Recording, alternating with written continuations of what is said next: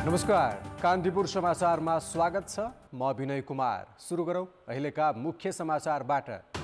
इजरायलमा Hamas आक्रमणबाट मारिएका दस मध्ये पाँच नेपालीको शव प्राप्त। नेपाल पठाउन समन्वय भइरहेको दूतावासको भनाई सम्पर्कविहीन विपिन जोशीको खोजी जारी।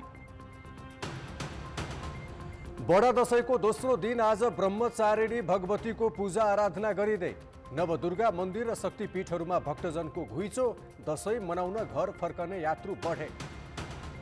युद्धको दशौं दिन पनि इजरायलद्वारा गाजामाथि हवाई आक्रमण जारी।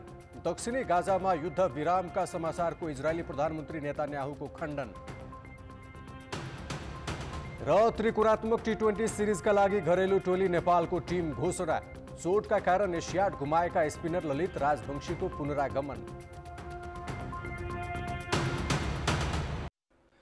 इजरायलमा हमासको आक्रमणमा मारिएका दस मध्ये पाँच नेपालीको शव प्राप्त भएको इजरायल स्थित नेपाली दूतावासले जनाएको छ। दूतावासले विज्ञप्ति जारी गर्दै दस मध्ये पाँच शव प्राप्त भएको र अन्य शव पनि प्राप्त हुने क्रममा रहेको जनाएको हो। आक्रमणमा मारिएका मध्ये नारायण प्रसाद न्यौपाने लोकेन्द्र सिंह धामी गणेश कुमार नेपाली दिपेश राज विष्ट र आशिष चौधरीको शव प्राप्त भएको हो। शव ढिला नगरी नेपाल पठाउन आवश्यक समन्वय भइरहेको र उपलब्ध संयन्त्रको प्रयोग गरी सम्पर्कविहीन रहेका विपिन विपिन जोशीको खोजी कार्य अझै तीव्र पारिएको दूतावासले जनाएको छ। आक्रमणमा घाइते भएका चारजना अस्पतालबाट डिस्चार्ज भएकामा एकजना नेपाल फर्किसकेको एकजना दूतावासको हेरचाहमा रहेको र दुईजना अस्पतालमा उपचाररत रहेको जनाइएको छ। दूतावासमा रहेका गोर्खाका हिमाञ्चल कटेल नियमित उपचारका लागि कम्तीमा पनि दुई महिना अस्पतालमा बस्नुपर्ने देखिएको इजरायल स्थित कान्तिपुर सहकर्मी होम कार्कीले जनाएका छन्। अर्का घाइते प्रवीण डिसीको जेरुसलेम स्थित सहरे जेडेक अस्पतालमा उपचार भइरहेको छ। उनको खुट्टामा गोली लागेको छ। यस्तै खुट्टामै गम्भीर चोट लागेका विधान सेजुवालको सोरेका अस्पतालमा उपचार भइरहेको छ। दूतावासका अनुसार छ सय उन्चालिस नेपालीले स्वदेश फर्कन आवेदन दिएकामा दुई सय चौवन्नजना स्वदेश फर्किसकेका छन् भने एकसट्ठीजना तत्काल फर्कन चाहेका छन्। दूतावासले उनीहरूका लागि आवासको व्यवस्था गरेको जनाएको छ। दूतावासले प्राप्त निवेदन अनुसार प्राथमिकता र जोखिमका आधारमा स्वदेश फर्काउन पहल गर्ने जनाएको छ।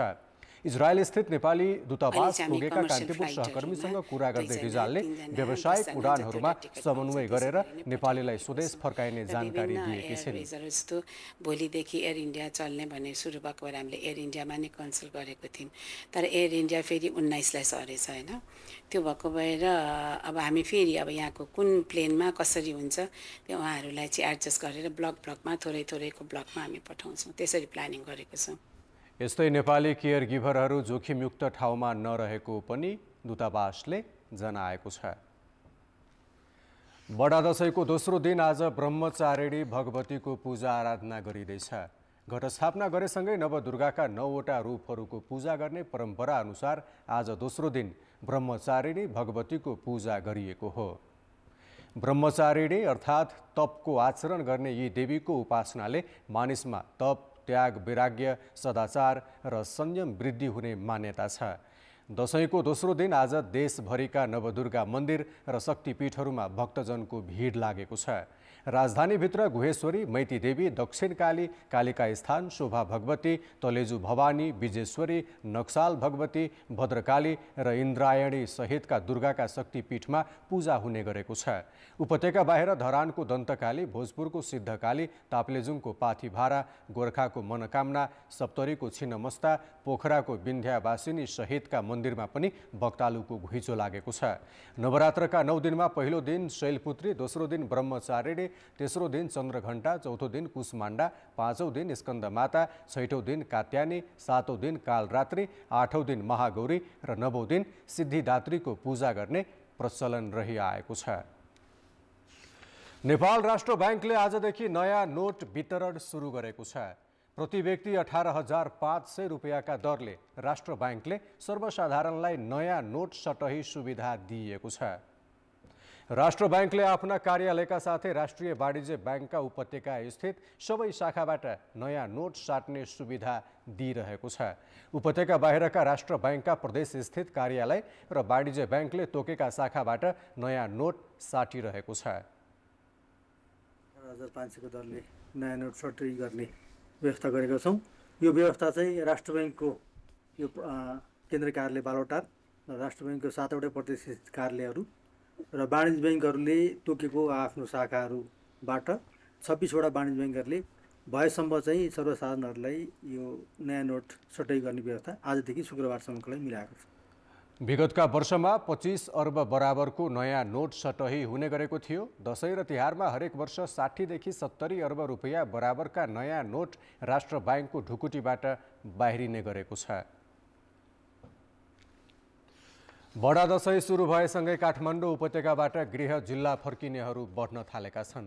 विभिन्न प्रयोजनमा काठमाडौँ बसोबास गर्दै आएकाहरू परिवारसँग दसैँ मनाउन आफ्नै थात थलो फर्किन थालेका हुन्। दसैँमा परिवारका सदस्यहरू एक ठाउँमा भेला हुने मिठो मसिनो खाने र विजया दशमीको दिन ठुला बडाबाट टिका जमरा प्रसाद र आशीर्वाद लिने गरिन्छ।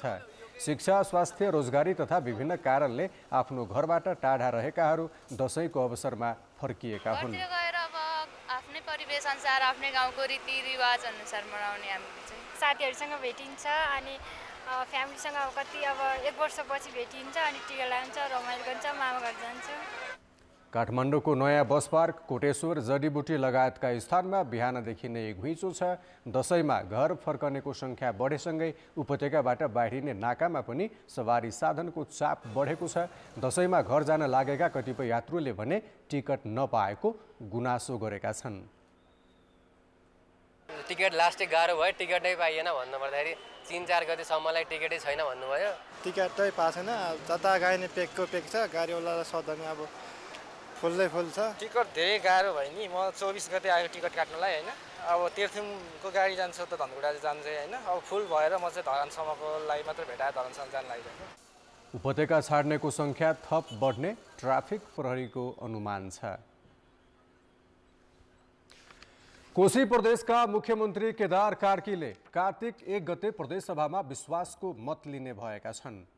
कार्कीले विश्वासको मत लिने सूचना प्रदेशसभालाई सो आज दिएका छन्। मुख्यमन्त्रीले विश्वासको मत लिन चाहेको दुई दिन अघि प्रदेशसभालाई सूचना दिनुपर्ने प्रदेशसभा नियमावलीको व्यवस्था छ। कोशी प्रदेशमा असोज बिस गते स्थगित भएको प्रदेशसभाको बैठक कार्तिक एक गतेका लागि बोलाइएको छ। प्रदेशसभा सचिवालयले एक सूचना जारी गर्दै असोज बिस गते स्थगित प्रदेशसभा बैठक कार्तिक एक गते बुधबार दिनको एघार बजेका लागि बस्ने सूचना जारी गरेको हो। कोशी प्रदेशका नवनियुक्त मुख्यमन्त्री कार्कीले आफू नियुक्त भएको एक हप्ताभित्रै विश्वासको मत लिने तयारी गरेका हुन्। यसअघि नियुक्त भएका मुख्यमन्त्रीहरूले विश्वासको मत लिने तालिका तिसौँ दिनसम्म पुग्ने गरेको थियो। तर एमालेका उन्चालिस र काङ्ग्रेसका आठ सांसदको विद्रोहपछि मुख्यमन्त्री बनेका कार्की एक साताभित्र विश्वासको मत लिने तयारीमा जुटेका हुन्। सङ्घीय सरकार प्रदेश सरकार र स्थानीय सरकार हामीले कतिपय सङ्घीय सरकारको कार्यालयहरूलाई हामीले बजेट दिन्छौँ। त्यो बजेट दिँदा चाहिँ सङ्घीय सरकारसँग त्यसको समन्वय गर्नुपर्छ उसँग चाहिँ स्वीकृति लिनुपर्छ र त्यसको लागि चाहिँ अब हामीले अहिले स्वीकृतिको लागि एउटा स्वीकृतिको लागि हामीले त्यो अहिले मैले त्यो सदर गरेँ। नेपाली काङ्ग्रेसको पदाधिकारी बैठक जारी छ। सभापति शेरबहादुर देउबाको निवासमा जारी बैठकमा कोशी प्रदेशमा शेखर कोइराला समूहले गरेको विद्रोहका विषयमा छलफल भइरहेको छ। कोइराला पक्षका नेता केदार कार्की कोशीमा एमालेको समर्थनमा मुख्यमन्त्री बनेर सरकारमा समेत एमालेलाई सहभागी गराएपछि त्यसबारे छलफल गर्न देउबाले बैठक बोलाएको बताइएको छ। बैठकमा सभापति देउबासहित उपसभापति महामन्त्री सहभागी छन्। काङ्ग्रेस सहितको चार दलीय गठबन्धनले माओवादी केन्द्रका कोशी संसदीय दलका नेता इन्द्र आङ्बोलाई मुख्यमन्त्रीमा अघि सारेपछि कार्कीले पार्टीबाट विद्रोह गरी एमालेको समर्थनमा मुख्यमन्त्री बनेका थिए। गैरवासीय नेपाली सङ्घ अन्तर्राष्ट्रिय समन्वय परिषदको आगामी कार्तिक दुई गते हुने निर्वाचनका लागि अध्यक्षमा चारजनाको उम्मेदवारी परेको छ। अध्यक्षमा बद्री केसी महेश श्रेष्ठ रविना थापा र राजेन्द्र कुमार शर्माको उम्मेदवारी परेको हो। असोज पच्चिसदेखि सुरु भएको मनोनयन दर्ताको म्याद आज दिउँसो एक बजेसम्मका लागि तोकिएको थियो। एनआरएनएमा अध्यक्ष एक महिला र युवासहित आठ उपाध्यक्ष एक महासचिव छ सचिव र एक कोषाध्यक्षसहित चौहत्तरजना अन्तर्राष्ट्रिय समन्वय परिषदका पदाधिकारीका लागि निर्वाचन हुनेछ। एनआरएनएको एघारौँ विश्व सम्मेलन भोलिदेखि काठमाडौँमा सुरु हुँदैछ। भन्सार छलेर दैलेख लगिँदै गरेको पचास बोरा चिनी सुर्खेतको सुब्बाकुना स्थित प्रहरी चेकपोस्टले नियन्त्रणमा लिएको छ। प्रहरीले भे एक ख तिन एक चार चार नम्बरको ट्रक जाँच गर्दा भन्सार छलेर ल्याएको चिनी फेला परेको जनाएको हो। जिल्ला प्रहरी कार्यालय सुर्खेतका प्रवक्ता एवं प्रहरी नायब उपरीक्षक लक्ष्मण बहादुर शाहीले ट्रक पनि नियन्त्रणमा लिएर अनुसन्धान सुरु गरेको जनाएका छन्। भन्सार विभागले भारतबाट एक सय रुपियाँभन्दा बढीका सामानको भन्सार असुल गर्ने नीति लिएका बेला गृह प्रशासनका अधिकारी र भन्सार कर्मचारीकै मिलेमतोमा ट्रकबाटै चिनी तस्करी हुने गरेको फेला परेको हो। भक्तपुर नगरपालिकाले आज दरबार क्षेत्रमा छिकोङ व्यायाम प्रदर्शन गरेको छ। व्यायाम प्रदर्शनीमा तिन सयभन्दा बढी सहभागी रहेका थिए। स्थानीयलाई शारीरिक व्यायाम मार्फत स्वस्थ बनाउने उद्देश्यले नगरपालिकाले एक वर्ष अघि चिनिया विधिको छिकोङ व्यायाम भित्र्याएको हो। यो व्यायामले मानिस स्वस्थ र निरोगी हुने प्रशिक्षकको भनाइ छ नगरका दसवटै वडामा सञ्चालित व्यायाम स्थलमा दैनिक चार सयजनाले छिकोङ व्यायाम गर्दै आएका छन्। अब जनमतमा आजको प्रश्न। प्रश्न छ मातृभाषाको संरक्षणका लागि के गर्नु पर्ला? ए नीतिगत स्पष्टता बी सरकारवालाको चासो र सी भाषाप्रति सबैको सम्मान। जनमतको अन्तिम परिणाम आज बेलुकी आठ बजेको कान्तिपुर समाचारमा प्रसारण गर्नेछौँ। कृपया एनइडब्लुएस ट्युज स्पेस सी टाइप गरी तिन चार शून्य शून्य एकमा एसएमएस गरी आफ्नो मत व्यक्त गर्नुहोला। घरेलु मैदानमा हुने त्रिकोणात्मक टी ट्वेन्टी सिरिजका लागि नेपालले टिम घोषणा गरेको छ। मुख्य प्रशिक्षक मुन्टी देसाईले रोहित पौडेलको कप्तानीमा आज अठारजना खेलाडीको नाम सार्वजनिक गरेका हुन्। स्पिनर ललित राजवंशीले टिममा पुनरागमन गरेका छन्। चोटका कारण उनले यसै महिना चिनको हाङचौमा भएको एसियाली खेलकुद गुमाएका थिए। अर्का स्पिनर सन्दीप लामिछानेले भने यो सिरिजबाट आफ्नो नाम फिर्ता लिएका थिए। लोकेश बम र सूर्य तामाङ पनि फर्किएका छन्। अन्य खेलाडीमा आसिफ शेख कुशल बुर्तेल दिपेन्द्र सिंह ऐरी कुशल मल्ल सन्दीप जोरा गुलसन झा सोमपाल कामी प्रतीश जीसी अविनाश बोहरा र विवेक यादव छन्। यस्तै सागर ढकाल विनोद भण्डारी श्याम अर्थात् मौसम ढकालले पनि टिममा स्थान बनाएका छन्। टी ट्वेन्टी विश्वकप छनौटको तयारी स्वरूप सिरिज खेल्न लागि हो। नेपालसहित हङकङ र युए सम्मिलित सिरिज आगामी कार्तिक एक गतेबाट सुरु हुनेछ।